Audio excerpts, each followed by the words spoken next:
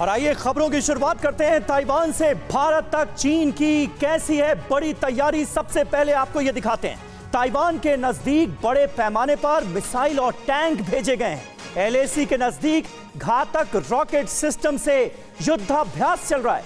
सीमा पर तैनात कर सकता है पीएचएल 16 रॉकेट्स। इन रॉकेट्स के निशाने पर भारतीय सैन्य बेस होंगे। ये सबसे बड़ी चिंता का सबब हिंदुस्तान के लिए भी।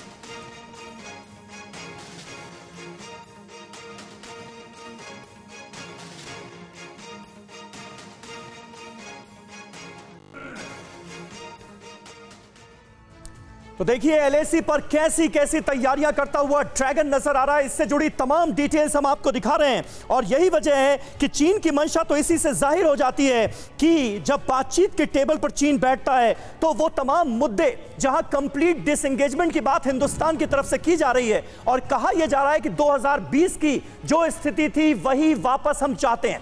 बस एक कॉल कर सकती है आपको कंगाल। खाली हो सकता है बैंक खाता। कैसे? देखिए मेरे साथ, जागते रहो, सिर्फ़ मनी नाइन पर। अभी डाउनलोड करें। रजामंदी नहीं हो पाती है, क्योंकि चीन अपनी चालबाजियों से बाज नहीं आता। ताइवान को लेकर जो रुख है, वो भी हमारे सामने है। ऐसे में ताइवान से भारत तक चीन की जो जंगी तैयारियाँ चल रही हैं, उस पर नज़र डालना ज़रूरी है। चीन ने मिसाइलों का जखीरा दक्षिणी इलाके की ओर रवाना किया है।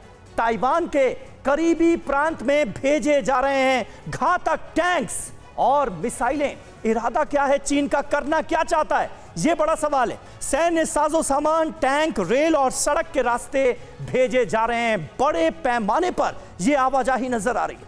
पीएलए का भारतीय सीमा के नज़दीक शिंजियांग में एमएलआरएस टेस्ट हुआ गया है और शिंजियांग का ही दौरा किया था कुछ दिनों पहले शी जिनपिंग ने।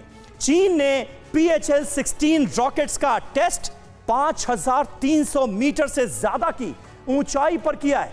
यानी लॉन्ग रेंज रॉकेट्स के निशाने पर भारतीय सेना के महत्वपूर्ण बेस होंगे। ये अपने आप में बहुत चिंताजनक जानकारी इस वक्त हमारे पास आ रही है।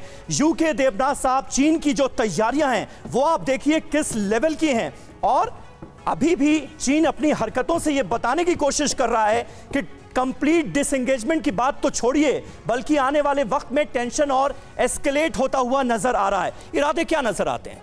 चीन का इरादा बहुत क्लियर है। उनके साथ हमारी कोर कमांडर लेवल पर सोलहवीं दौर की बातचीत हो चुकी है। जी। और चीन चाहता है कि वो साइकोलॉजिकली इंडिया को दबाव में रखे। वो चाहता है कि हमारी जो मिलिट्री लीडरशिप है और हमारी जो पॉलिटिकल लीडरशिप है वो चीन के दबदबे को मान जाएँ। ताकि चीन भविष्य में अब जब सत्रहवीं लेवल पर कोर कमांडर्स की बात होगी और जब चीन के रिप्रेजेंटेटिव विदेश मंत्रालय से बात करेंगे तो वह चाहेंगे कि विदेश मंत्रालय और रक्षा मंत्रालय ऐसा सोचे कि चीन बहुत ज़्यादा ताकतवर है। लेकिन हमें इससे डरना नहीं चाहिए। अगर चीन ने पी एच एल सोलह एम बी आर एल लगाए हैं तो हमारे पिनाका रॉकेट भी पूर्वी लद्दाख में अक्साई चीन के पास डिप्लॉयड हैं। हम्म। हम चीन के ईट का जवाब पत्थर से दे सकते हैं। जी सर लेकिन सवाल यही है कि अभी तक कोर कमांडर लेवल की इतनी बार बैठक हो चुकी है लेकिन अभी तक कोई निष्कर्ष नहीं निकला है कि कैसे एलएसी पर जो तनाव है उसे कम किया जा सके। क्या आपने भी खरीद लिया है गलत शेयर? हो गया है भारी नुकसान। देखिए मेरे साथ अस्सी नब्बे पूरे सौ। सिर्फ़ मनी नाइन पर अभी डाउनलोड करें।